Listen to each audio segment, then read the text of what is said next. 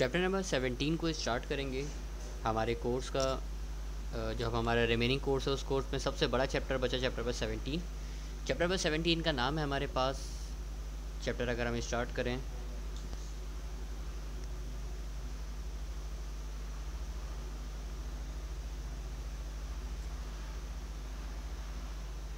Chapter का नाम हमारे पास है एडवेंट ऑफ़ मॉडर्न फिजिक्स सबसे पहला टॉपिक जो मेरे पास मॉडर्न फिजिक्स में अगर शुरू होता है, अगर आप लोगों ने नोट पे भी कभी देखा हो तो एक डेफिनेशन आपको लिखी हुई नज़र आएगी, वो है गैलीलियन ट्रांसफॉर्मेशन की। गैलीलियन ट्रांसफॉर्मेशन है क्या? तो गैलीलियन ट्रांसफॉर्मेशन है ट्रांसफॉर्म ट्रांसफॉर्मेशन के अगर लफ्ज़ देखोगे ना तो ट्रांसफॉर्मेशन के लफ्ज़ का मतलब है चेंज करना, यानी ट्रांसफॉर्म करना चेंज करना। अब ज़रा डेफिनेशन पढ़ो डेफिनेशन में क्या लिखा हुआ है? डेफिनेशन में लिखा हुआ है the conversion of coordinates of a particle from one inertial frame of reference to another inertial frame of reference is called Galilean transformation. अब अगर आप डेफिनेशन देखोगे ना डेफिनेशन में आपको कुछ भी समझ में नहीं आएगा। कुछ भी समझ में ऐसा नहीं आएगा कि आप देखो, उसने सिर्फ़ बोला हुआ कि भाई conversion of one inertial frame of reference to another inertial frame of reference बस जिस चीज़ को चेंज कर रहे हो, वो कौन है? आपके पास फ्रेम ऑफ़ रेफरेंस है। आप सोच रहे होगे सर, ये तो बताइए कि ये इनर्शियल फ्रेम ऑफ़ रेफरेंस क्या है? अगर आप लिख रहे हैं यहाँ पे, ये इनर्शियल फ्रेम ऑफ़ रेफरेंस अब आप लफ्ज़ देखो, लिखा हुआ है inertial frame of reference inertial तो मैं आपको थोड़ी देर में बताऊँगा कि भाई ये इनर्शियल क्या होता है। इस इनर्शियल को तो अभी थोड़ी देर के लिए रहने दो। सबसे पहले देखो आपको तो ये पता होना चाहिए, भाई ये फ्रेम ऑफ़ रेफरेंस है क्या? फ्रेम ऑफ़ रेफरेंस होता क्या चीज़ है? होती क्या चीज़ फ्रेम ऑफ़ रेफरेंस तो दोनों चीज़ें मैं आपको बताता हूँ मैं आपको फ्रेम रेफरेंस भी बताऊँगा मैं आपको इनर्शियल फ्रेम रेफरेंस भी बताऊँगा। अभी सिर्फ़ मैंने डेफिनेशन लिखी यहाँ पे गैलीलियन ट्रांसफॉर्मेशन की। गैलीलियन ट्रांसफॉर्मेशन की जो इक्वेशन डेफिनेशन लिखी है वो सिर्फ़ डेफिनेशन आप पढ़ो।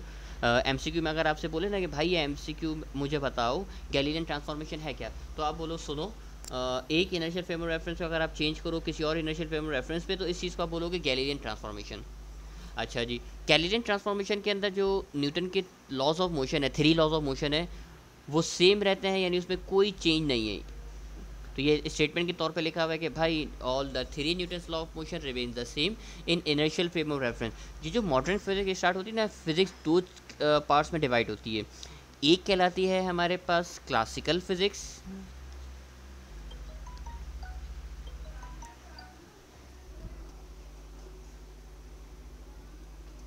और जबकि एक कहलाती है हमारे पास मॉडर्न फिजिक्स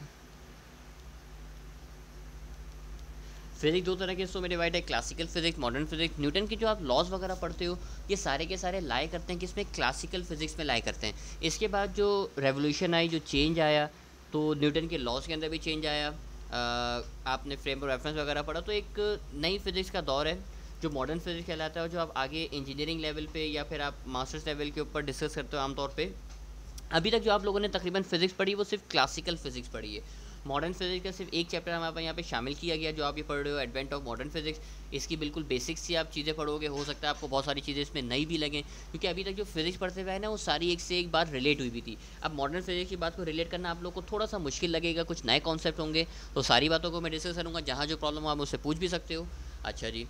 अब मॉडर्न फिजिक्स की बात करी न्यूटन के लॉस की बात कर ली कि भाई न्यूटन के लॉस जो हैं सेम होते हैं इनर्शियल फ्रेम रेफरेंस पे। अब आप सोच रहे थे, आपके जहन में सवाल था आ, सवाल ये था कि सर आप ये बताइए कि फ्रेम ऑफ़ रेफरेंस क्या है? तो मैंने हेडिंग लगाई यहाँ पे frame of reference. Frame of reference ज़रा पढ़ना क्या लिखा हुआ है? A frame of reference is any coordinate system related to which measurements are taken अब इसका मतलब क्या है? आप देखो आ, आपके पास सपोज़ करो ये एक्सेस थे सही? आपके पास ये एक्सेस आपने लिखा एक्स वाई और जेड सही? आपने एक्सेस बता दिए। अब इस एक्सिस से देखो, आप सपोज़ करो, इस पॉइंट पे खड़े हुए हो। अब आप देखो, ये पॉइंट कितना दूर है, यानी एक्स पे कितना दूर है, इसकी एक्स डायरेक्शन आप बना सकते हो। ये देखो, ये पॉइंट कितना ऊपर की तरफ़ आ रहा है और कितना आगे की तरफ़ जा रहा है, आप ज़रा इसकी वैल्यूज़ देखो। कितना आगे की तरफ़ गया, यानी एक्स डायरेक्शन में कितना ऊपर की तरफ़ गया, यानी किस डायरेक्शन में? वाई डायरेक्शन में। होता है ना अक्सर आप पॉइंट की वैल्यू लिखते थे, इसकी वैल्यू लिखोगे सपोज़ करो आपने लिखी वैल्यू थ्री कॉमा टू यानी एक्स की वैल्यू थ्री है वाई की वैल्यू टू है। अब आप देखो, आपने ये जो मेज़रमेंट करी है, आपने बोला ना, सर, इतना दूर वो पॉइंट है, यानी थ्री कॉमा टू वो पॉइंट है, या आपने पॉइंट मार कर दिया। अब आप देखो, इसका डिस्टेंस बता सकते हो, इसका जो डिस्टेंस है, वो आपने डिस्टेंस मेजर कर लिया, यार, ये पॉइंट इतनी दूर होगा। अब ये डिस्टेंस आपने निकाला तो किसी के रेफरेंस से निकाला। किसी चीज़ के रेफरेंस से निकाला ना, किसके रेफरेंस से निकाला? ये आप देखो, ये जो सिस्टम आपको नज़र आ रहा है एक्स वाई जेड ये आप सिस्टम देख रहे हो, इसका नाम होता है रेक्टेंगुलर कोऑर्डिनेट सिस्टम इस सिस्टम का नाम लिखा मैंने रेक्टेंगुलर कोऑर्डिनेट सिस्टम अच्छा जी, ये जो सिस्टम आपने देखा है सिस्टम को मैंने बोला है, सर ये कहलाता है रेक्टेंगुलर कोऑर्डिनेट सिस्टम और ये मेरे पास टाइप है किसकी? फ्रेम ऑफ़ रेफरेंस की. फ्रेम ऑफ़ रेफरेंस की एक टाइप है। यानी आपने जो अपनी रीडिंग ली, यानी आपने अपनी वैल्यूज़ को मेजर किया, किसी चीज़ के रेफरेंस से। तो जिस चीज़ के रेफरेंस से आप वैल्यूज़ को मेजर करते हो, वो रेफरेंस कहलाता है आपके पास फ्रेम ऑफ़ रेफरेंस तो फ्रेम ऑफ़ रेफरेंस ज़रा समझने की कोशिश करना, ज़रा डेफिनेशन भी पढ़ना, मेरी बात आपको क्लियर हो जाएगी। मेरी बात क्लियर हो जाएगी क्लियर क्या होगी? कि भाई frame of reference is any coordinate system कोई सा भी कोऑर्डिनेट सिस्टम है जिससे आप मेज़रमेंट को कंसिडर करते हो मेज़रमेंट लेते हो। अच्छा अब फ्रेम ऑफ़ रेफरेंस की आपने कुछ टाइप्स भी पढ़ी होंगी। फ्रेम ऑफ़ रेफरेंस एक तो मैंने आपको बता दिया जो बताया कौन सा? रेक्टेंगुलर कोऑर्डिनेट सिस्टम एक मैंने आपको बता दिया। इसके अलावा जो सिस्टम होते हैं, अगर मैं आपको नाम लिख के भी दिखाऊँ, एक होता है cylindrical coordinate system cylindrical coordinate system और एक होता है पोलर कोऑर्डिनेट सिस्टम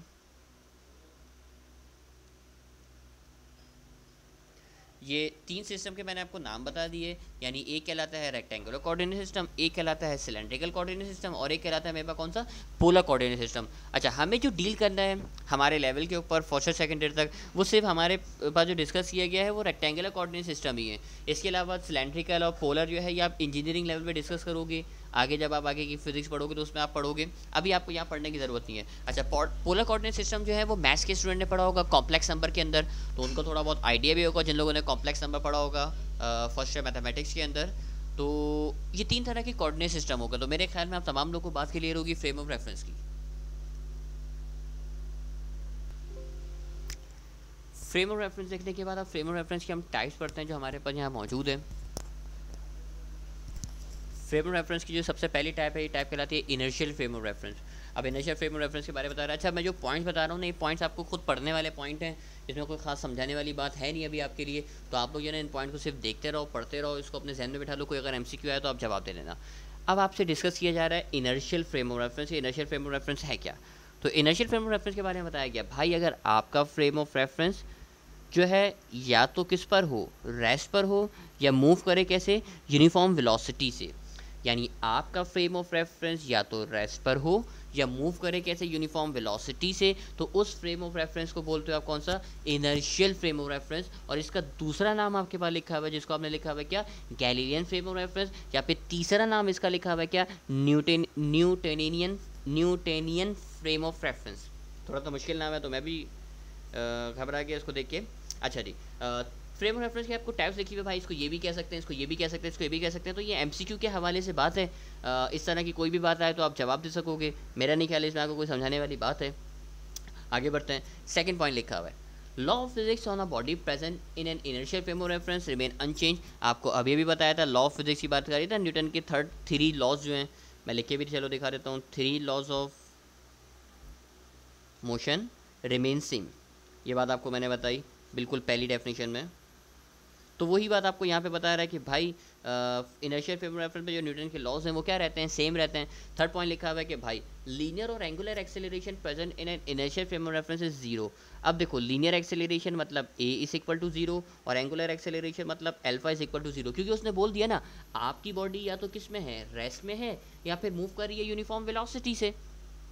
अब देखो रेस्ट में है, इसका मतलब जब भी एक्सेलरेशन ज़ीरो और मूव करे यूनिफॉर्म वेलोसिटी से, जब भी एक्सेलरेशन क्या है? ज़ीरो है। तो देखो, एक पॉइंट अगर आपने पढ़ा ना तो दूसरा पॉइंट आप खुद बना सकते हो। भाई, इस वाले केस में भी एक्सेलरेशन ज़ीरो इस वाले केस में भी एक्सेलरेशन ज़ीरो फोर्थ पॉइंट आपको बताया क्या? कि भाई force on an force on a body present in an inertial frame of reference is zero अब देखो फोर्स का फॉर्मूला होता है ना F is equal to M A अब देखो, आपके पास जो एक्सेलरेशन है, वो एक्सेलरेशन ही ज़ीरो हो गई। तो मास से मल्टीप्लाई भी करोगे तो इनर्शियल फ्रेम रेफरेंस पे जो फोर्स है, वो फोर्स क्या हो जाएगी? ज़ीरो हो जाएगी। तो यही फोर्थ पॉइंट बन गया आपके पास। Force on a body present in an inertial frame of reference is zero आप बोलेंगे अच्छा सर सही है इसकी कोई एग्ज़ाम्पल तो आप हमें दीजिए। तो भाई, इसकी जो एग्ज़ाम्पल है, वो एग्ज़ाम्पल बड़ी सिंपल सी।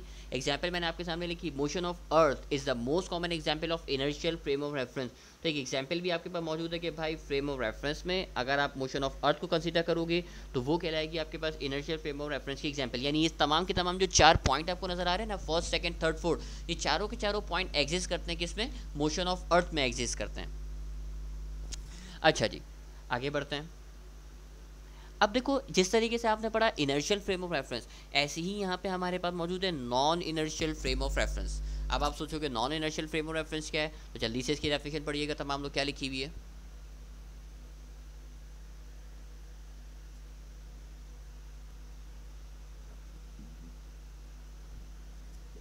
डेफिनेशन लिखिए आपके पास? Such a frame of reference which move with non uniform velocity ज़ाहिर सी बात है ना, या तो रेस्ट पे हो या यूनिफॉर्म वेलोसिटी हो यूनिफॉर्म वेलोसिटी से हो तो इनर्शियल होता है। और अगर मूव करेगा कैसे? नॉन यूनिफॉर्म वेलोसिटी से। तो इसका मतलब ये फ्रेम ऑफ़ रेफरेंस भी कैसा कहलाएगा? नॉन इनर्शियल कहलाएगा।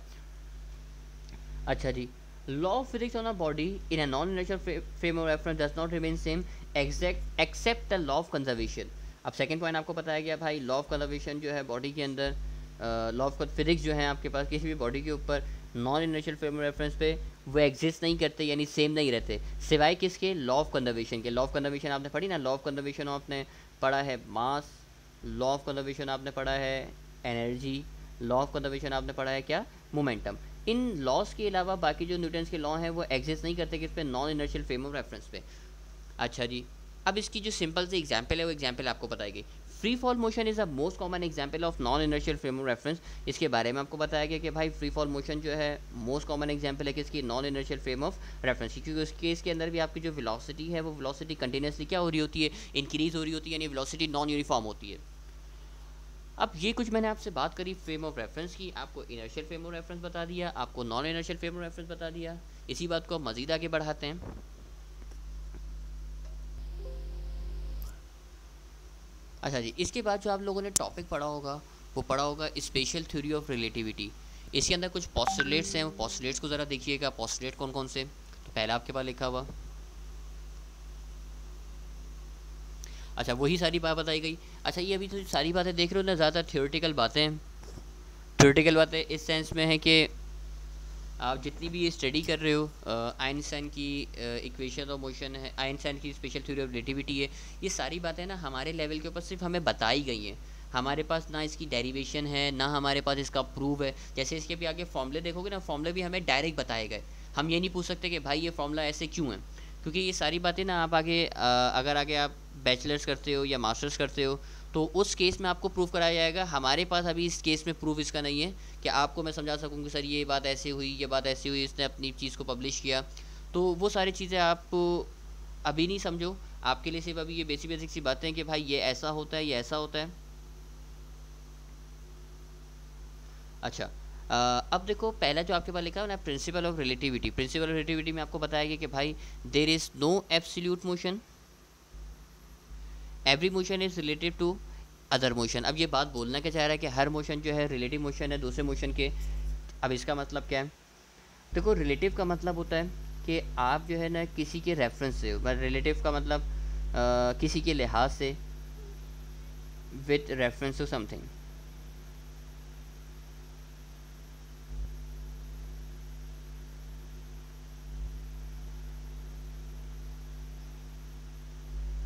okay relative uh, का मतलब विद रेफरेंस टू समथिंग अब जैसे इसका इसकी मिसाल ऐसे कि आप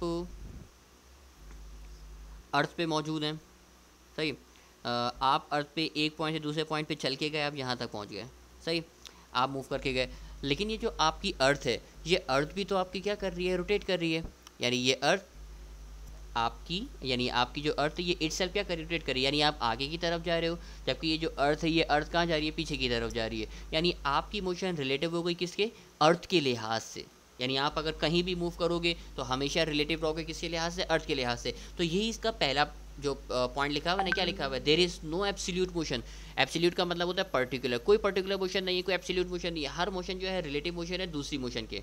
और उसी के बारे में लिखा हुआ है कि भाई law of physics exactly the same in all inertial frame reference ये पॉइंट तो आपको बार बार मैं पढ़ा चुका तो मेरा नहीं ख्याल इसको दोबारा बताने की ज़रूरत है। अच्छा इस बात को प्रूव किस तरीके से किया गया है, उसके बारे में आपको नाम बताया गया, वो नाम ज़रा पढ़िएगा, क्या लिखा हुआ है? This postulate based on Galilean and Lorentz transformation अभी अभी मैंने क्लास के स्टार्ट में आपको ये नाम बताया था गैलीलियन ट्रांसफॉर्मेशन यानी अगर आप एक इनर्शियल फ्रेम ऑफ़ रेफरेंस को दूसरे इनर्शियल फ्रेम ऑफ़ रेफरेंस पे शिफ्ट करोगे तो वो ट्रांसफॉर्मेशन कहलाती है गैलीलियन ट्रांसफॉर्मेशन तो आप इस बात को याद रखो प्रिंसिपल रिलेटिविटी को जिस पॉसिलेट की मदद से प्रूव किया गया, वो क्या है आपके पास? गैलीलियन और लॉरेंस ट्रांसफॉर्मेशन सेकेंड पॉइंट आप लोगों ने पढ़ा होगा प्रिंसिपल ऑफ़ लाइट का. प्रिंसिपल ऑफ़ लाइट क्या है? तो प्रिंसिपल ऑफ़ लाइट भी जल्दी से देखिएगा, ताकि मैं इस बात को डिस्कस कर कर सकूँ. ओके प्रिंसिपल ऑफ़ लाइट हमें बताया गया कि भाई speed of light remains unchange यानी स्पीड ऑफ़ लाइट जो है वो सेम रहती है either source of light move towards और अवे फ्रॉम द ऑब्जर्वर यानी स्पीड ऑफ़ लाइट की वैल्यू कांस्टेंट वैल्यू है और तमाम लोगों ने कांस्टेंट वैल्यू पढ़ी ना ये? C is equal to three exponential eight metre per second और ये आपके पास हाईएस्ट स्पीड है जो कोई भी बॉडी एग्जिस्ट कर सकती जिस, किसी भी बॉडी के पास मौजूद है या वो एग्जिस्ट कर सकती है. यानी हाईएस्ट स्पीड है किसी भी बॉडी की जो एग्जिस्ट करती है. और वो है हमारे पास क्या? स्पीड ऑफ़ लाइट अच्छा इस पॉस्टुलेट को किस बेस पे आपने प्रूफ किया गया तो उसका नाम हमें बताया गया। उस पॉस्टुलेट का नाम भी आप तमाम लोग देखिएगा। ये लिखा हुआ हमारे पास this postulate is based on Michelson and Morley experiment Michelson interferometer पढ़ा है ना आपने? माइकलसन इंटरफेरोमीटर लाइट के ऊपर उसने काम किया था चैप्टर नंबर नाइन में आपको पढ़ाया था माइकलसन तो उसी के एक्सपेरिमेंट के ऊपर ये पॉस्टुलेट बेस करता है। तो दो पॉस्टुलेट आप दोनों पॉस्टुलेट का नाम याद रखोगे। ये बात याद रखोगे, भाई, ये किस चीज़ पे बेस कर रहा है? क्या इसकी वैल्यूज़ वगैरह हैं? तो ये दो पॉइंट हमें दिए गए किसके? स्पेशल थ्योरी ऑफ़ रिलेटिविटी के। इन दो पॉइंट्स को देखने के बाद जो आप लोगों ने फॉर्मले पढ़े ना वो फॉर्मले देखते हैं। सबसे पहला फॉर्मला आप लोगों ने पढ़ा होगा टाइम डायलेशन का। टाइम डायलेशन का फॉर्मला लिखा हुआ है t is equal to t naught divided by root one minus b over c का होल स्क्वायर सेकंड फॉर्मला आप लोगों ने पढ़ा हुआ है इंक्रीज इन मास का m is equal to m naught divided by root one minus b over c का whole square तीसरा फॉर्मूला पड़ा हुआ है लेंथ कॉन्ट्रैक्शन का l is equal to l naught multiply by root one minus v over c का whole square और fourth formula आप लोगों ने पढ़ा हुआ है मास एनर्जी रिलेशन जो कि है e is equal to m c square अब आप बोलोगे, सर, आपने इतनी सारी चीज़ें बोल दी एक सांस में, आपको बोल तो दी, हमें तो सर कुछ समझ में नहीं आया। तो भाई, ये फॉर्मूलों को मैं समझा रहा हूँ, मेरे साथ साथ मेरी बातों को फोकस करना समझने की कोशिश करना। देखो एम नॉट जो आपको नज़र आ रहा है ना ये कहलाता है आपके पास रेस्ट मास ये कहला रहा है आपके पास क्या? रेस्ट मास यानी आपकी बॉडी अगर रेस्ट में है उस वक्त जो मास है उस वक्त जो टाइम है वो तमाम के तमाम जो चीज़ें हैं वो रेस्ट की चीज़ें कहला रही हैं जिसको आपने नॉट से लिखा हुआ है। सही ना? आ, जैसे ये एल नॉट है तो ये हो जाएगी जब आपकी बॉडी की लेंथ होगी रेस्ट पे ये होगा जब आपकी बॉडी की रेस्ट टाइम होगा रेस्ट पे यानी मूव या फिर मूव कर रहा हो अब वो मूव करेगा, अगर वेलोसिटी से तो क्या होगा? तो ये जो मास नज़र आ रहा है ना, इसको बोलते हैं रिलेटिविस्टिक मास ये लिखा मैंने क्या? रिलेटिविस्टिक मास ऐसे ही ये हो जाएगी मेरे पास रिलेटिविस्टिक लेंथ मैं लिख के नहीं दिखाता, वरना एक ही चीज़ बार बार रिपीट होगी। और ये टी कहलाता है, अगर मैं, चलो टी लिख देता हूँ टी कहलाता है मेरे पास क्या? रिलेटिविस्टिक टाइम अब relativistic mass relativistic length relativistic time क्यों बोल रहे हो? यानी आपकी बॉडी अगर मूव करे, चलो मैं इसको लिख भी देता हूँ ताकि की पॉइंट के तौर पे आपके पास सेफ़ रहेगा। आपकी बॉडी अगर मूव करे near to the speed of light near to the speed of light. Near to the speed of light अब वो स्पीड ऑफ़ लाइट के नियर कैसे होगा तो बात भी आपको बताता हूँ कि उसका किस तरीके से एम आ सकता है। अच्छा अब आप देखो ये तो फॉर्मूले जो नज़र आ रहे हैं मास के साथ देखो लिखा हुआ है क्या? इंक्रीज होना, यानी आपकी बॉडी अगर मूव करेगी near to the speed of light तो आपका जो बॉडी का मास है वो मास इंक्रीज होगा, यानी हेडिंग लिखी हुई ना इंक्रीज इन मास देखो टाइम के साथ लिखा हुआ है टाइम डायलेशन टाइम डायलेशन में डायलेशन के लफ्ज़ का मतलब यहाँ पे है डिले आपने देखा ना, अक्सर होता है कि यार देर हो रही है डिले हो रहा है, बहुत जल्दी कर लो, यानी बढ़ रहा है टाइम बढ़ रहा है इंक्रीज़ हो रहा है. यानी ऊपर वाले जो तो फॉर्मूले नज़र आ रहे हैं, दोनों इंक्रीज़ के लिए, यानी increase in mass increase in time जबकि नीचे वाला जो फॉर्मूला नज़र आ रहा है, वो नज़र आ रहा है लेंथ कॉन्ट्रैक्शन लेंथ कॉन्ट्रैक्शन यानी आपके पास जो लेंथ है, वो लेंथ रिड्यूस होगी लेंथ कम होगी. तो ये लिखा हुआ है कि भाई आपकी जो लेंथ है, वो लेंथ रिड्यूस हो जाएगी. तो तीसरा फॉर्मूला देखो फॉर्मूले में चेंज भी है, क्योंकि ये फॉर्मूला मल्टीप्लाई हो रहा है एल नॉट के साथ तो ये रिडक्शन इन लेंथ को शो कर रहा है. जबकि फोर्थ फॉर्मूला लिखा हुआ है आपके पास मास एनर्जी रिलेशन ये फॉर्मूला तो आपने मैट्रिक क्लास में पढ़ा है. E is equal to m c square इन चार फॉर्मूलों को देखने के बाद, कुछ इसके एम को सॉल्व करूँगा ना तो आप लोग को थोड़ा सा आइडिया हो जाएगा कि आगे किस तरीके से डील करना है सवाल किस किस्म के आएँगे आपके पास। तो सवाल देखते हैं ज़रा। सबसे पहले तो एक सवाल आपके पास आया तब हम लोग सवाल देखिए और सोचिए इसका क्या जवाब हो सकता है। सवाल में आपसे बोला गया, सवाल बड़ा आसान सा सवाल था, सवाल में आपसे बोला if a body of mass m naught यानी एक बॉडी है जिसका मास आपको बता रहा है सर इसका मास है m naught moving with relativistic speed सही अब वो जो बॉडी है, ये मूव कर रही है रिलेटिविस्टिक स्पीड से। अच्छा जी रिलेटिविस्टिक स्पीड से मूव करिए देन इस मास बिकम डैश इसका मास क्या बन जाएगा, ये बताओ। देखो रिलेटिविस्टिक स्पीड का मतलब होता है, यहाँ पे अगर आपकी बॉडी मूव कर रही है equal to the velocity of light तो ये बॉडी कहलाती है, ये ये चीज़ कहलाती है आपके पास रिलेटिविस्टिक स्पीड यानी velocity is equal to the speed of light अब देखो मास का फॉर्मूला हमारे पास क्या है? मास का फॉर्मूला है m is equal to m naught divided by under root one minus v over c का होल स्क्वायर मैंने फॉर्मूला लिख के दिखा दिया। M is equal to m naught divided by under root one minus v over c का whole square अब देखो, उसने आपको बोला, भाई रिलेटिविस्टिक स्पीड रिलेटिविस्टिक स्पीड का मतलब है कि इसकी जो वेलोसिटी है, ये स्पीड ऑफ़ लाइट के बराबर है। यानी वी बराबर है सी के। इस वी की जगह पे आप सी पुट कर दो तो फॉर्मूला क्या बन जाएगा? अच्छा ये मेरा सवाल जो है पूरा मैं खुद सॉल्व करके दिखा रहा हूँ। वरना जब आप अगली दफ़ा आपके पास सामने अगर इस सवाल है ना, आप डायरेक्ट उसका जवाब लगाना है। इतना सॉल्व नहीं करना पेपर वाले दिन। मैं आपको सॉल्व करके इसलिए बता रहा हूँ ताकि आप लोग को बात मेरी समझ में आ जाए। अच्छा जी वी की जगह पे सी रखा तो बन जाएगा सी अपॉन सी अच्छा सी अपॉन सी को कैंसिल करोगे तो आप बोलेंगे, सर, क्या बच जाएगा? तो आप जवाब देंगे, सर सी से सी को कैंसिल किया तो आंसर बच जाएगा वन और वन का स्क्वायर करोगे तो अल्टीमेटली जो आंसर है वो आंसर क्या आएगा? वन ही आएगा, क्योंकि सी से सी कैंसिल करोगे बचेगा वन, और वन का स्क्वायर करोगे तो आंसर भी क्या आएगा? वन आएगा। अब आप देखो वन में से वन अगर माइनस करोगे तो आंसर बच जाएगा मेरे पास क्या? ज़ीरो तो ये बन जाएगा m is equal to m naught divided by zero और किसी भी चीज़ को अगर ज़ीरो से डिवाइड करते हो तो आंसर जो आता है वो आंसर क्या आता है? इन्फिनिटी आता है यानी इनफाइनाइट आंसर आता है. यानी उसका जो मास है वो मास क्या बन जाएगा? इनफाइनाइट बन जाएगा. यानी करेक्ट जवाब है आपके पास क्या? ऑप्शन नंबर बी यानी इनफाइनाइट अब आप देखो आ, इसी किस्म का जो सवाल है ना अगर मैं सवाल लिखूँ आपके सामने टाइम का चलो मैं टाइम वाला केस में आपको बताऊँ। देखो टाइम का फॉर्मूला भी क्या है? टाइम का फॉर्मूला भी है t is equal to t naught divided by under root one minus v over c का होल स्क्वायर अब देखो टाइम वाले केस में भी, अगर वो मूव करेगा कैसे? रिलेटिविस्टिक स्पीड से। तो जो टाइम है उसका, वो टाइम क्या बन जाएगा? इन्फिनिटी बन जाएगा। अब आपने देखो कंडीशन बना लिया, अब आपको डायरेक्ट याद रहेगा। जबकि लेंथ वाला केस जो है लेंथ वाला केस आगे आएगा तो लेंथ वाला केस में भी आपको बताता हूँ लेंथ वाले केस में क्या होगा। इस सवाल को समझ के आगे बढ़ते हैं। एक और सवाल आप तमाम लोग की स्क्रीन के ऊपर यहाँ पे मौजूद है। इस सवाल को देखिएगा और सॉल्व करके कोशिश कीजिएगा और अपने पास आंसर लिखिएगा कि आप लोग के पास आंसर क्या आ रहा है। अगला एम आप तमाम लोग के सामने।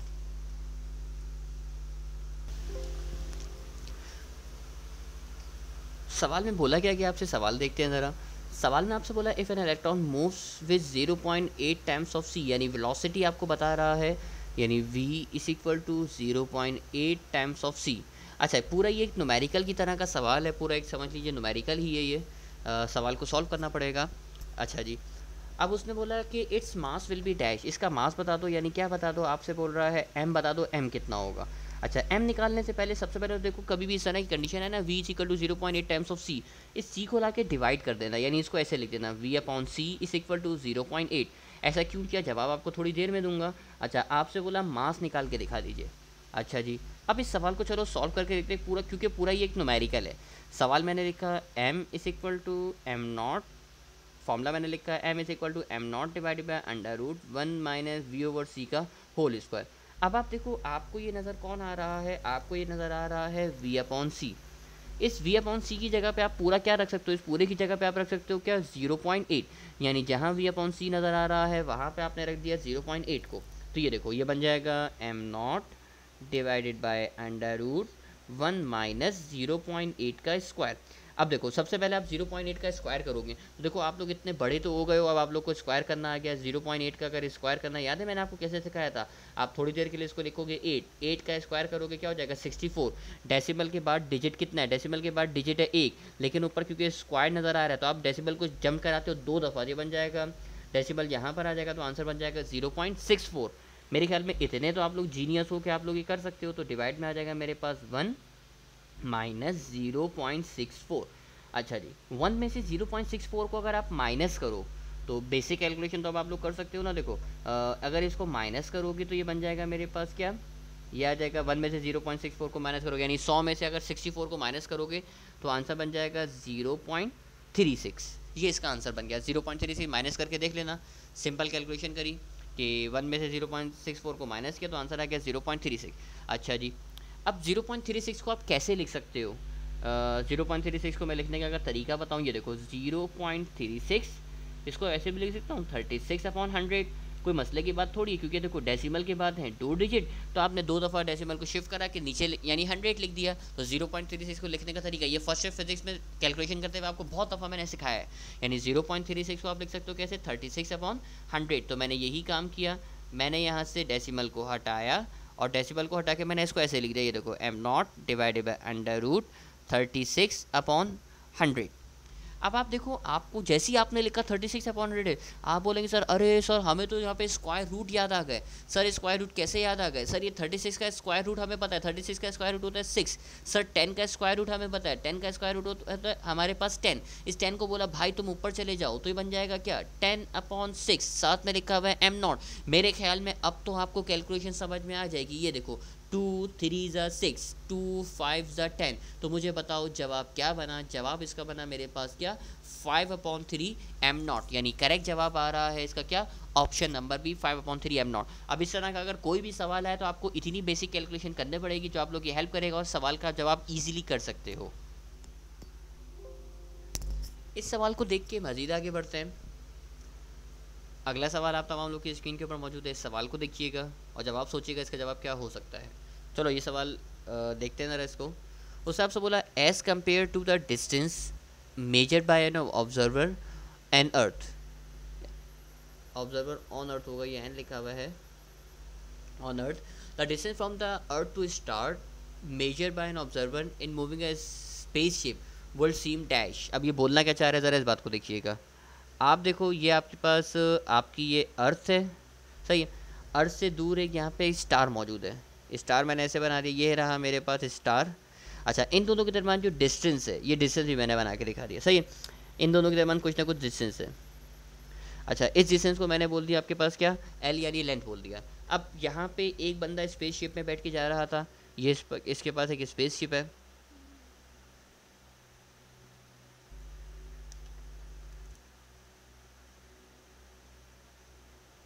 जिसको उड़न तश्तरी आप लोग बोलते हो स्पेस शिप एक मौजूद है मेरे पास। अच्छा जी, इस स्पेस शिप में, ये स्पेस शिप वाले ने ये मूव कर रहा है। अच्छा इसकी कुछ ना कुछ स्पीड होगी, ये मूव करता हुआ जा रहा है। अगर रिलेटिविस्टिक स्पीड से अगर मूव कर रहा है, अब ये अगर इस डिस्टेंस को देखेगा, ये डिस्टेंस जो आपको नज़र आ रहा है, क्योंकि अगर ये मूव कर रहा होगा near to the speed of light near to the अगर ये मूव करेगा near to the speed of light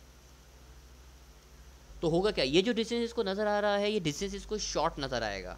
यही तो आपके पास लेंथ कॉन्ट्रैक्शन का फॉर्मूला है कि अगर आप रिलेटिविस्टिक स्पीड से मूव करोगे तो जो डिस्टेंस है, वो डिस्टेंस आपको शॉर्ट नज़र आएगा। आपने फॉर्मूला पढ़ा है ना लेंथ कॉन्ट्रैक्शन का।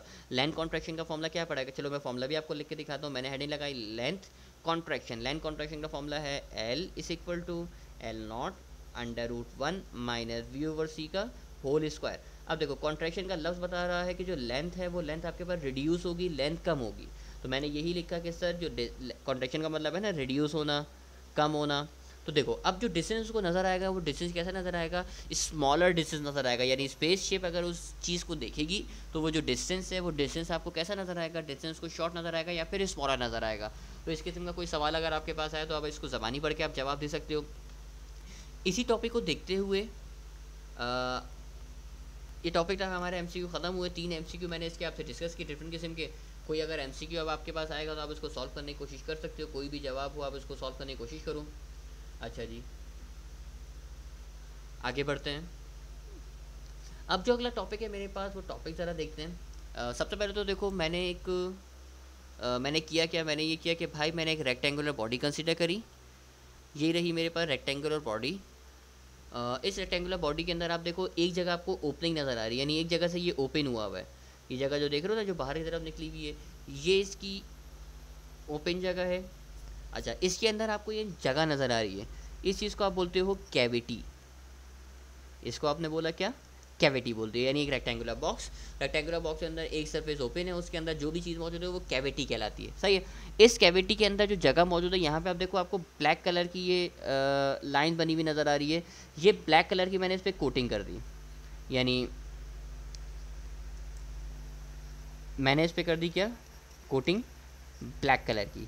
अच्छा जी, आप बोलेंगे, सर, आपने ब्लैक कलर की कोटिंग क्यों की? क्या फ़ायदा हुआ इसका? तो ये फ़ायदा भी मैं आपको बताता हूँ, ज़रा आगे देखना मेरी बात को। अब देखो, मैंने एक काम ये किया कि मैंने इसके अंदर है ना लाइट को एंटर किया। सही है? इसमें लाइट एंटर हुई। अब देखो, क्योंकि इसके अंदर जो कोटिंग हुई हुई थी, वो ब्लैक कलर की कोटिंग हुई हुई थी। और ब्लैक कलर की आपने ख़ास बात पढ़ी है ना? आपने ख़ास बात क्या पढ़ी है ब्लैक कलर की? ब्लैक कलर जो है लाइट को क्या करता है? एब्जॉर्ब करता है। ब्लैक कलर की ख़ास बात ये कि अगर आप ब्लैक कलर पे लाइट को इंसिडेंट कराओगे तो ये लाइट को क्या करेगा? एब्जॉर्ब करेगा।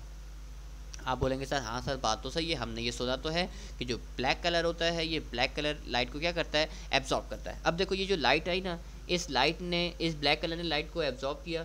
कुछ पार्ट को इसने एब्जॉर्ब करा दिया, कुछ पार्ट को इसने रिफ्लेक्ट करा दिया। देखो जो स्टार्टिंग में लाइट आई, उसकी थिकनेस आपको ज़्यादा नज़र आ रही है। ये देखो लाइट रिफ्लेक्ट हुई लाइट रिफ्लेक्ट हुई लाइट रिफ्लेक्ट हुई। होते होते लाइट जो है ना, बिल्कुल आप देखोगे तो लाइट की जो इंटेंसिटी आपको नज़र आ रही है, वो कम होती जा रही है, यानी लाइट एब्जॉर्ब होती जा रही है।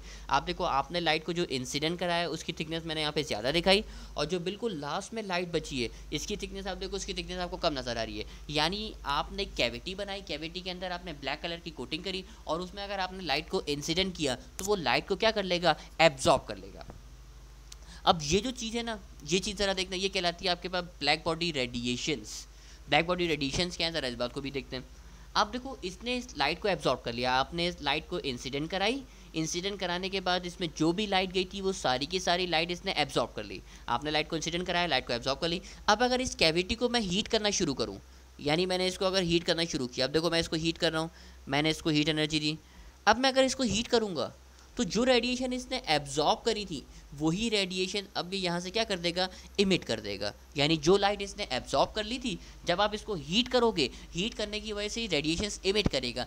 ये जो रेडिएशन इमिट करेगा, इन रेडिएशंस को आप बोलते हो कौन सी रेडिएशन ब्लैक बॉडी रेडिएशन क्योंकि ये ब्लैक बॉडी ने रेडिएशन को इमिट किया तो इस वजह से इसका नाम आपने रखा ब्लैक बॉडी रेडिएशन और यही मेरा टॉपिक है अब जो सेकेंड ब्लैक बॉडी रेडिएशन का।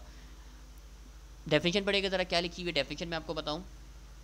डेफिनेशन में आपके पास लिखा when a black body is heated अगर आप ब्लैक बॉडी को हीट करते हो then it will glow and radiate energy यानी कुछ रेडिएशन को इमिट करेगा, जिसका नाम उसने रखा। जिसका नाम उसने क्या रखा? या तो उसको आप बोलोगे ब्लैक बॉडी रेडिएशन या फिर उसको बोलोगे कैविटी रेडिएशन कैविटी क्यों बोला? क्योंकि याद है ना, मैंने ये अंदर जो, अंदर वाली जो चीज़ है इसको मैंने नाम दिया था किसका? कैविटी का नाम दिया था। यानी कैविटी भी है, आप इसको बोल सकते हो। और तीसरा नाम इसने आप क्या रखा हुआ है? थर्मल रेडिएशन थर्मल क्यों? क्योंकि अगर आप इसको हीट करोगे उसी सूरत में रेडिएशन को क्या करेगा? इमिट करेगा।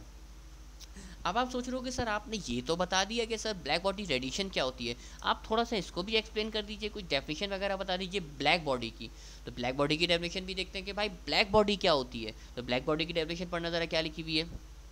ब्लैक बॉडी की डेफिनेशन लिखी हुई भाई सच अ बॉडी ऐसी बॉडी विच कैन एब्जॉर्ब यानी such a body which can absorb जो एब्जॉर्ब कर सके रेडिएशन को falling on it surface as well as emit radiation यानी एब्जॉर्ब भी कर सके और इमिट भी कर सके थ्रू इट्स सरफेस यानी उसकी सरफेस पे अगर आप लाइट को इंसिडेंट करते हो तो वो लाइट को एब्जॉर्ब भी करता है लाइट को इमिट भी करता है. उस चीज़ को आप बोलते हो क्या? ब्लैक बॉडी रेडिएशन अच्छा ये जो कोटिंग जो हुई होती है ना कोटिंग आमतौर पर हुई हुई होती है लैम्प ब्लैक की, जिसको आप सुना ना आपने कोयले को जो आप बोलते हो? कोयले की जो मतलब जो कोयले का, कोल का जो ब्लैक कलर होता है, उसी का पार्ट होता है रिमेनिंग पार्ट जिसको आप लैम्प ब्लैक बोलते हो, उसकी आप आमतौर पर कोटिंग करते हो। तो दो चीज़ें तो पहले याद रखना ब्लैक बॉडी रेडिएशन और ब्लैक बॉडी अब इसकी कुछ करेक्टरिस्टिक्स भी है मेरे पास, वो करेक्टरिस्टिक्स जल्दी पढ़ते हैं।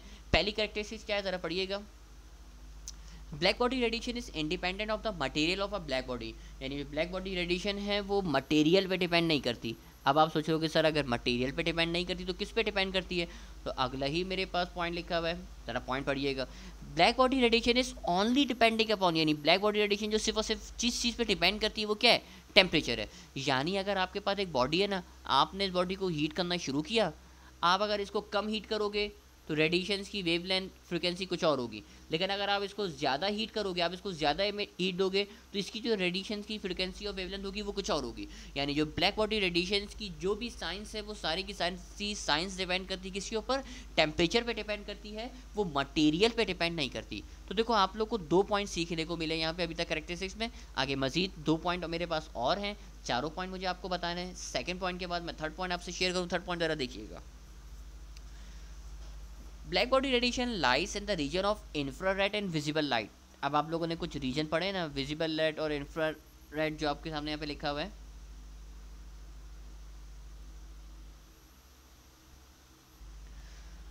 अब आप लोगों ने कुछ रीजन्स पढ़े होंगे, जैसे आप लोगों ने पढ़ा होगा वायलेट अल्ट्रा वायलेट जिसको आप बोलते हो अल्ट्रा वायलेट रेस रीजन पढ़े होंगे, कुछ कहलाते हैं आपके पास इंफ्रारेड अच्छा इसका एक सीक्वेंस होता है सीक्वेंस कि इंफ्रारेड जो है आपके पास, एक इंफ्रारेड की फ्रिक्वेंसी कम होती है अल्ट्रा वायलेट की फ्रिक्वेंसी ज़्यादा होती है, यानी अल्ट्रा वायलेट ज़्यादा खतरनाक होती है तो कुछ रीजन होते हैं। Electromagnetic radiation chapter number sixteen जब मैं आपको पढ़ाऊँगा क्योंकि अभी वो चैप्टर हमारा रिमेनिंग है चैप्टर नंबर सिक्सटीन जब मैं आपको पढ़ाऊँगा तो उसमें आपको बताऊँगा इलेक्ट्रोमैग्नेटिक रेडिएशन कौन कौन सी होती है। अभी से मैं आपको यहाँ पे नाम बता रहा हूँ कि भाई ब्लैक बॉडी रेडिएशन के अंदर जो जो जिस रीजन में वो लाई करता है, वो रीजन आपको बताया गया रीजन आपको दिखाया गया कौन कौन सा? इंफ्रारेड और विजिबल लाइट और फोर्थ आपको बताया गया कि black body radiation is a group of different wavelength of a particular temperature मतलब बहुत सारी रेडिएशन होती है डिफरेंट वेवलेंथ की, और ग्रुप ऑफ़ रेडिएशन होती है जिसको उसने एक्सप्लेन यहाँ पे किया है। ये चार फोर्थ पॉइंट है, ज़्यादा डेप में मैं इसकी नहीं जाऊँगा। ये चार तरह के पॉइंट मेरे पास हो गए। करेक्टरिस्टिक्स को देखने के बाद तो मेरे पास इसका एक ग्राफ मौजूद है। इस ग्राफ को देख लीजिए। ग्राफ में आपको बनाना नहीं सिखा रहा। ग्राफ के बारे में सिर्फ़ डायरेक्ट बात बता रहा हूँ। वो ग्राफ ज़रा देखिएगा। अच्छा तीन ग्राफ नज़र आ रहे हैं। तीनों अलग अलग टेम्परेचर्स के ऊपर हैं। फ़र्स्ट ग्राफ देखो तो टेम्परेचर इसका थाउज़ेंड कैलविन है। सेकंड ग्राफ देखोगे तो टेम्परेचर है two thousand kelvin third red वाला ग्राफ देखोगे तो टेम्परेचर है थ्री थाउज़ेंड कैलविन अच्छा जैसे जैसे टेम्परेचर बढ़ रहा है, आप देखो, आपकी जो इंटेंसिटी है, वो इंटेंसिटी भी अल्टीमेटली क्या हो रही है? इंक्रीज़ हो रही है। आप इस बात पे भी गौर करो। यानी जैसे जैसे कौन बढ़ा? टेम्परेचर बढ़ा, वैसे वैसे आपकी इंटेंसिटी बढ़ते जा रही है। ये रहा। ग्राफ टेम्परेचर बढ़ने से आपकी क्या बढ़ रही है? इंटेंसिटी बढ़ रही है। जबकि जो वेवलेंथ है, आप देखो पहले वाले की जो मैक्सिमम वेवलेंथ है, वो इस जगह पे आ रही है। दूसरे वाले की मैक्सिमम वेवलेंथ वो इस जगह पे आ रही है। यानी जो अगर टेम्परेचर बढ़ा, देखो टेम्परेचर आपने हज़ार से कितना किया? दो हज़ार किया। तो आप देखो आपकी इंटेंसिटी तो बढ़ी, लेकिन जो वेवलेंथ है, वो वेवलेंथ क्या हो गई? कम हो गई। अब देखो, जब तीसरे ग्राफ पे गए तो तीसरे ग्राफ पे देखो, ये जो पॉइंट आपको नज़र आ रहा है, इस पॉइंट पे देखो इंटेंसिटी सबसे ज़्यादा, लेकिन जो वेवलेंथ की वैल्यू आ रही है मैक्सिमम वेवलेंथ की वैल्यू वो मैक्सिमम वेवलेंथ की वैल्यू क्या हो गई? और ज़्यादा कम हो गई। तो ये कुछ रिलेशन है इन रिलेशन को ज़रा पढ़ना है। तो ये ग्राफ लिखा हुआ आपके पास। ग्राफ क्या लिखा हुआ ज़रा पढ़िएगा। Intensity of radiation will increase with the increase of wavelength up to a certain extent and then increase. क्या मतलब है इसका? अब देखो, इस सपोज़ करो रेड वाले ग्राफ को देखो। इस रेड वाले ग्राफ को देखो जैसे जैसे आप राइट की तरफ़ बढ़ रहे हो जैसे जैसे राइट की तरफ़ बढ़ रहे हो, आपकी जो इंटेंसिटी है वो क्या होती जा रही है? इंक्रीज होती जा रही है इंक्रीज होती जा रही है इंक्रीज होती जा रही है। एक मैक्सिमम पॉइंट आएगा जहाँ पे मैक्सिमम है, यानी मैक्सिमम इंटेंसिटी है। इसके बाद देखो, ये ग्राफ वापसी कहाँ आ रहा है? नीचे की तरफ़ आ रहा है। यानी जैसे जैसे आप राइट पर जाते जा रहे हो ग्राफ ऊपर की तरफ़ बढ़ता जाता है, बढ़ता जाता है, एक मैक्सिमम पॉइंट आता है, और फिर वापसी वो क्या होता है? वापसी नीचे की तरफ़ आ जाती है। अब इनके बारे में कुछ लॉज हैं। वो लॉज आपको पढ़ने बड़ा इंटरेस्टिंग है। लेकिन हो सकता है आप लोगों को बोरिंग लगे, क्योंकि आप लोग अभी फिजिक्स बिल्कुल बोरिंग किस्म की पढ़ रहे हो। आप लोग के लिए इंटरेस्टिंग नहीं है लेकिन अगर आप अगर आप इंजीनियरिंग करते हो मैकेनिकल इंजीनियरिंग में अगर आप आते हो तो इसका पूरा एक चैप्टर मौजूद है हीट ट्रांसफ़र के नाम से। आ, वो चैप्टर जब आप पढ़ोगे ना उसमें आपको बहुत सारी चीज़ें सीखने को मिलेंगी। उसी में आप ये सारी बातें भी पढ़ोगे तो हो सकता है आपको जब जाके मेरी बातें इंटरेस्टिंग लगें। अभी हो सकता है आप मेरी बातें आपको बोरिंग लग रही हो लेकिन पढ़ना ज़रूरी है क्योंकि एन के टेस्ट में से कुछ ना कुछ पार्ट तो उसमें से आएगा। अच्छा जी आगे बढ़ते हैं। अब इसकी कुछ लॉज हैं बोरिंग किस्म के लॉज हैं। लेकिन लॉज आपको पढ़ाने पड़ेंगे, ज़्यादा डेप में मैं आपको समझाऊँगा नहीं, मैं सिर्फ़ आपको लॉज बताता हूँ, ज़रा लॉज देखिएगा। Black body radiation consist of four laws यानी ब्लैक बॉडी रेडिएशन के अंदर जो आपके कुल मिला के जो लॉस है, वो लॉस की तादाद चार है। अच्छा पहला जो लॉ है, पहला लॉ का नाम देखते हैं। पहला लॉ है हमारे पास Wien's displacement law Wien displacement law किस दो चीज़ों के दरमियान रिलेशन है तो रिलेशन देखते हैं भाई। रिलेशन आपको बताया वेवलेंथ और टेम्परेचर के दरमियान, यानी wavelength of black body radiation is inversely proportional to the temperature. यही आपको बात बताई गई है। वो बात क्या बता रहा है? कि wavelength corresponding to the maximum wavelength lambda m is inversely proportional to the absolute temperature. अब क्या मतलब है इसका? अच्छा सबसे पहले तो देखो, जब आप टेम्परेचर बढ़ा रहे हो तो वेवलेंथ क्या हो रही है? कम हो रही है। इसी बात को चलो मैं एक्सप्लेन भी आपको कर देता हूँ। ये देखो, मैं एक्सप्लेन करता हूँ आपको, ताकि मेरी बात आपको अच्छे से समझ में आ जाए। ये देखो आपने टेम्परेचर बढ़ाया टेम्परेचर आपने हज़ार से दो हज़ार किया दो हज़ार से तीन हज़ार किया।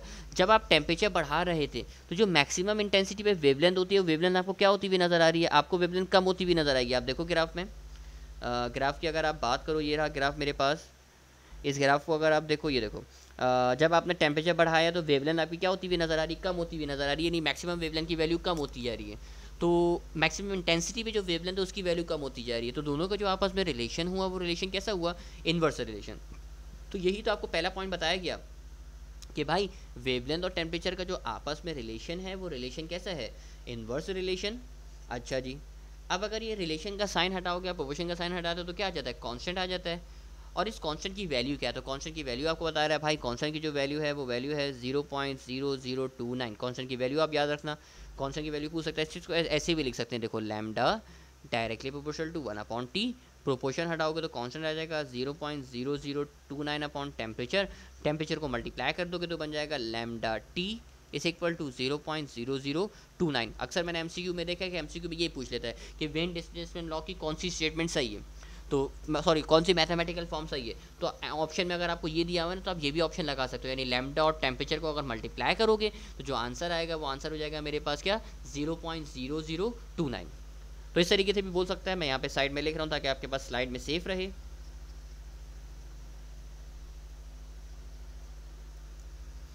Lambda T is equal to zero point zero zero two nine अच्छा जी। सेकेंड नंबर पे जो लॉ है, वो लॉ है मेरे पास स्टीफेंस लॉ स्टीफेंस लॉ क्या बोलते हैं? तो जल्दी से इसको पढ़ लेते हैं। अच्छा जी, अब इसने रिलेशन बताया कि इसका intensity of radiation is directly proportional to the fourth power of absolute temperature ये देखो intensity of radiation directly proportional fourth power fourth power of temperature का मतलब है कि टेम्परेचर की पावर फोर तो ये सेकंड लॉ है आपके पास, जिसका नाम आपने रखा हुआ है Stefan's law and intensity of radiation is directly proportional to the fourth power of the temperature अब इसको मैंने लेके दिखाया I is directly proportional to the fourth power of temperature अच्छा अब आप देखो यहाँ से प्रोपोर्शन हटाओगे तो तो अब आप देखो खुद जीनियस आप जवाब बता सकते हो कि सर इस एमसीक्यू का जो करेक्ट जवाब होना चाहिए, वो क्या होना चाहिए? वन होना चाहिए, यानी absorption power of perfect black body is one इसी के बाद एक और एमसीक्यू ये एमसीक्यू भी देखते हैं। ऑन अ हॉट डे और in hot climate white clothes are want because they are good dash अब देखो, आपके पास दो आदमी थे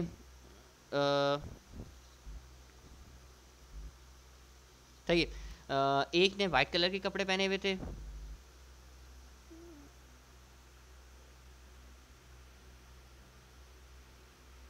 सही और एक ने ब्लैक कलर के कपड़े पहने हुए थे। ब्लैक कलर यहाँ पे, क्योंकि ब्लैक पीछे की स्किन है तो ब्लैक नज़र नहीं आएगा तो मैं इसको ब्लू बना रहा हूँ। अक्सर होता है ना गर्मी हो रही हो, बिल्कुल सूरज तपती हुई धूप हो, और उसके अंदर अगर कोई ब्लैक कलर के कपड़े पहन कर आ जाए।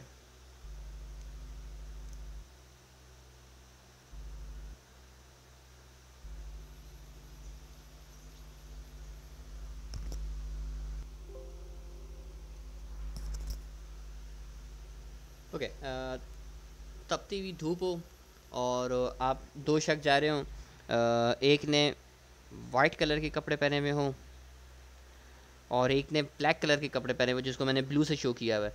तो आप अक्सर होते हैं ना, गर्मी में मना करते हैं कि भाई, गर्मी में तुमने ब्लैक कलर के कपड़े पहन लिए, वो देखो पागल। इसको आप ऐसे बोलते ना, वो देखो पागल। ब्लैक कपड़े गर्मी में पहन के जा रहे हैं तो क्यों बोलते हो अब वजह क्या है? देखो ब्लैक कलर की खास बात ये कि वो गुड एब्जॉर्बर है। अगर आप ब्लैक कलर की बात देखोगे ना तो उसके बारे में लिखा कि भाई ये गुड एब्जॉर्बर है। ये लाइट को क्या करेगा? एब्जॉर्ब करेगा। अब देखो, गर्मी में अगर आप ब्लैक कपड़े पहनकर जाओगे तो वो लाइट को एब्जॉर्ब कर लेगा।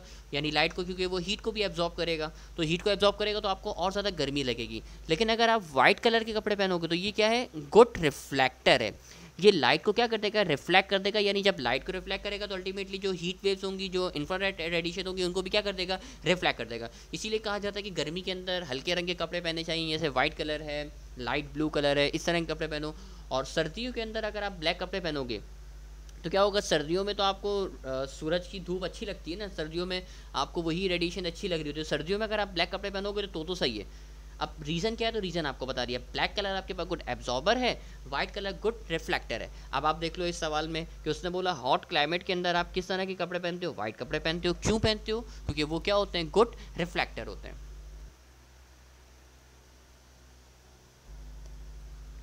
यहाँ पहुँच के आपका चैप्टर नंबर सेवनटीन का लेक्चर अपना कंप्लीट करते हैं। ये फ़र्स्ट लेक्चर था हमारा। उम्मीद करते हैं तमाम लोग को लेक्चर नंबर वन क्लियर होगा। इसमें कोई भी प्रॉब्लम हो, आप मुझसे पूछ सकते हो। मुझे मैसेज करके पूछ सकते हो। अगर मैं फ्री होऊँगा तो तमाम लोग को जवाब दूँगा। तमाम लोग अपना ख्याल रखिएगा। अल्लाह हाफिज़।